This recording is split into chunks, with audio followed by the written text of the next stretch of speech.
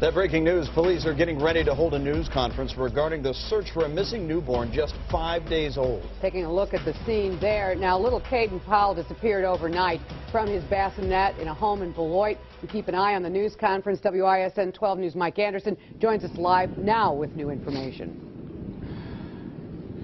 Well, good evening, Kathy. A news conference is just about to get underway right behind me here at the town of Beloit Police Station.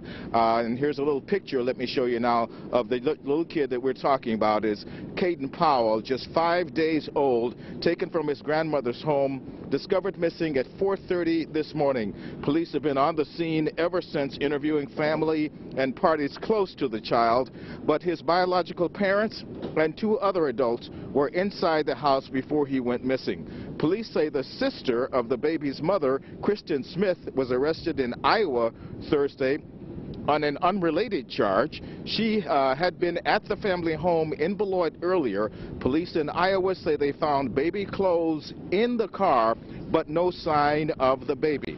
We hope to learn more about what's going on in this continuing developing story in just a few minutes as we learn more information from a news conference about to get underway here in the town of Beloit.